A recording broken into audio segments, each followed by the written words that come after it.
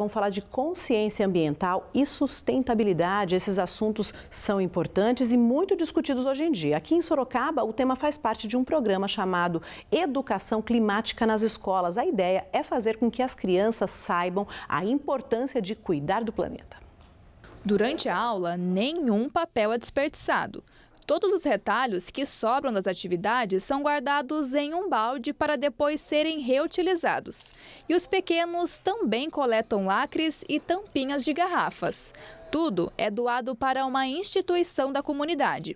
No próximo semestre, os alunos dessa escola, que fica no Jardim Montreal, em Sorocaba, irão aperfeiçoar essas técnicas de reciclagem com o programa Educação Climática nas Escolas.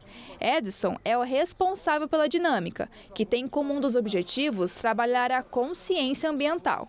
O movimento Escolas pelo Clima ele foi criado no ano de 2020 e ele tem justamente como função levar a pauta das mudanças mudanças climáticas para as escolas.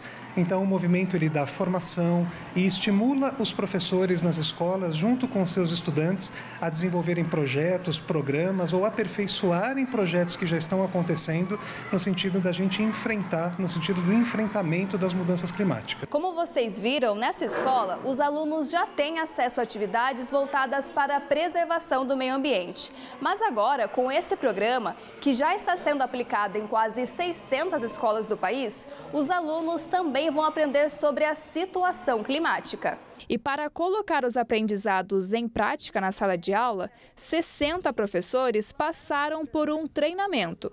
A Denise é uma delas. Essa capacitação foi muito interessante. Nós podemos rever conceitos que nós já tínhamos aprendido e também aprender conceitos novos a respeito de como melhorar o nosso mundo, o nosso mundo físico, para que nós possamos tornar ele assim cada vez melhor para nós, para nossas famílias, para o futuro das próprias crianças. A expectativa da diretora é que a conscientização estimulada na escola seja espalhada fora dela. Todos os assuntos que vão ser tratados nesse projeto dizem respeito às questões ambientais, da coleta seletiva, a esse olhar para as questões é, da emergência climática do nosso planeta. Né? Então, o nosso objetivo é que dê visibilidade para a comunidade, que a gente consiga trazer esse assunto tão importante para além dos muros da escola.